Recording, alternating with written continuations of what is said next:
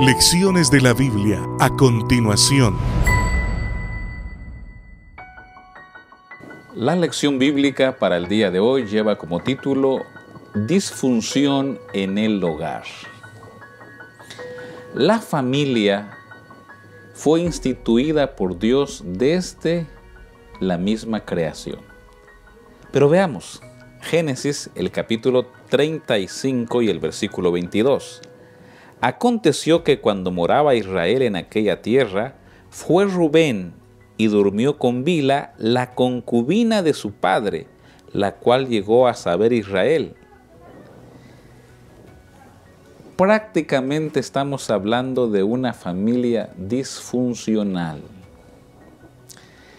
Pero esta familia disfuncional no fue única ni es única. Tristemente desde que el pecado entró, entró también una situación difícil para la familia. Si uno da una revisada a las familias que se mencionan, por ejemplo, en el libro de Génesis, uno descubre que en realidad muchas de esas familias pasaron por una disfunción distinta, pero al fin y al cabo era disfunción. Por ejemplo,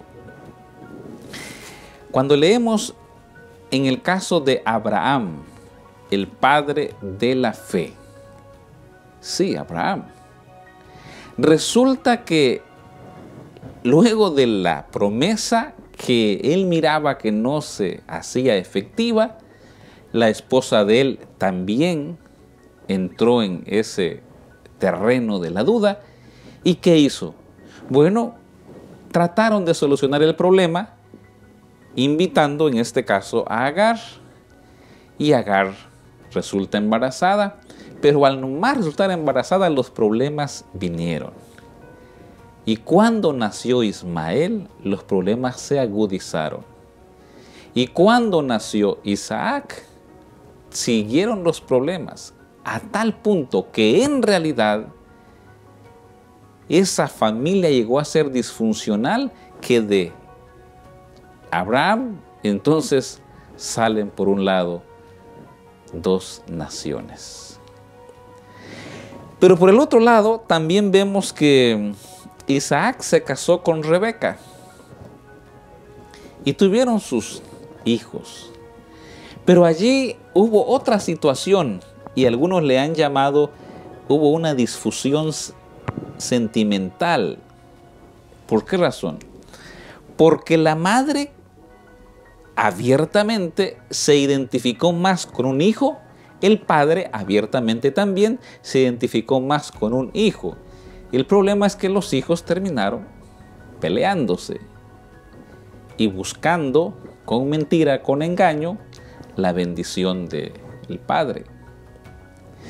Y si nosotros seguimos revisando Jacob, Jacob, que era un engañador, y resulta que va, y cuando ya intenta hacer su hogar, resulta engañado.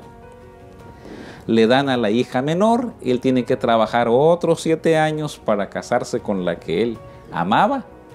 Así que trabaja y ahora tiene dos esposas y las esposas competían en la natalidad entre ellas, a ver quién le proporcionaba más hijos. A tal punto que ellas tuvieron que decir, ahí está mi sierva. Y la otra dice, también yo tengo mi sierva. Y entonces Jacob se encuentra ahora con cuatro mujeres. Y las cuatro dan a luz. Y entonces tenemos allí una competencia prácticamente de las mujeres y también de los hijos, por supuesto. Y revisando la historia nos damos cuenta que, por ejemplo, los hermanos mayores de José mataron a todos los varones de la ciudad de Siquem.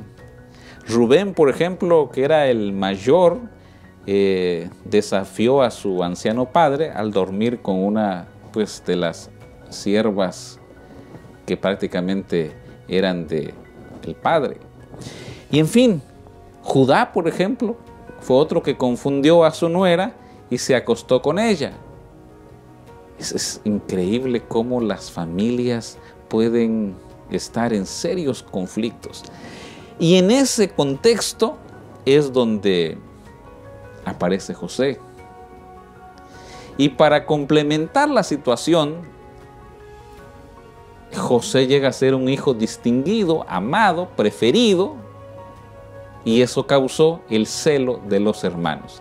Si ya la madre de estos ya peleaban, ahora entre ellos también peleaban y prácticamente a José también tuvieron que hacer la vida imposible. Ahora, ¿por qué mencionamos esto?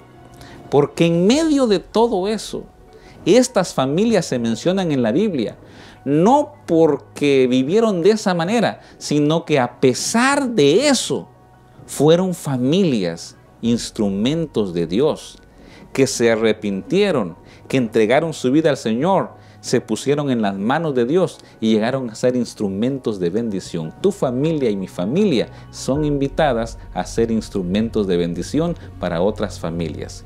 Que así sea. Que Dios te bendiga.